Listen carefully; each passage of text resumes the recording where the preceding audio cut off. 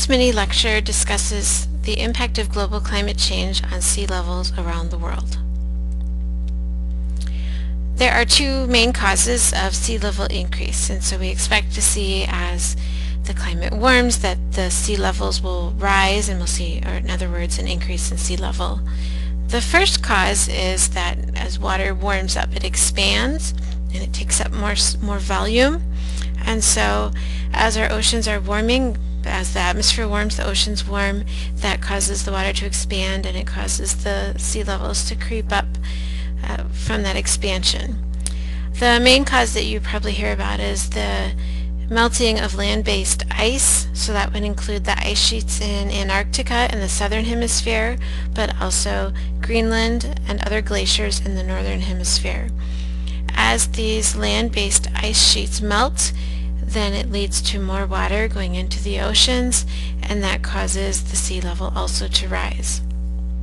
If all of the ice in these ice sheets combined were to melt, it would cause a sea level rise of more than 20 feet, which doesn't sound like a lot, but that would flood most coastal cities around the world because most coastal cities really aren't higher than 20 feet from sea level.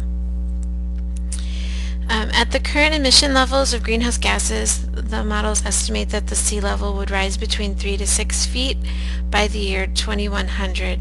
So in less than 100 years we can expect to see a sea level rise somewhere between 3 to 6 feet. And that's assuming a certain amount of melting and then also expansion of water.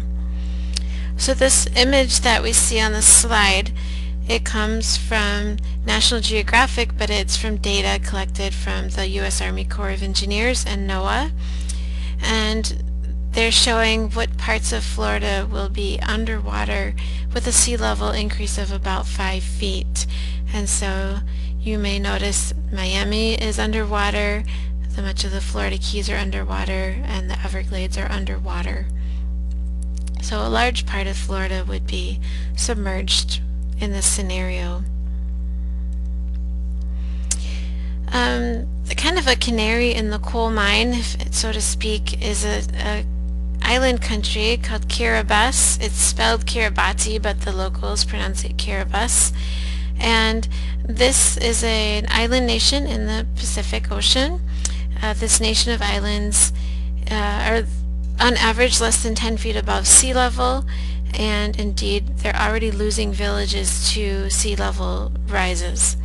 So they've tried to put up seawalls and other things to slow down the, the flow of water over their land, um, but they know that it's a, just a matter of time.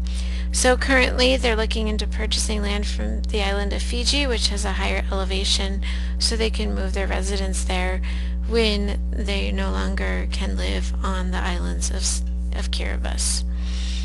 So there are many um, YouTube videos about this island nation and so I encourage you to check them out because they're, they show you some images from the island and how people are adapting.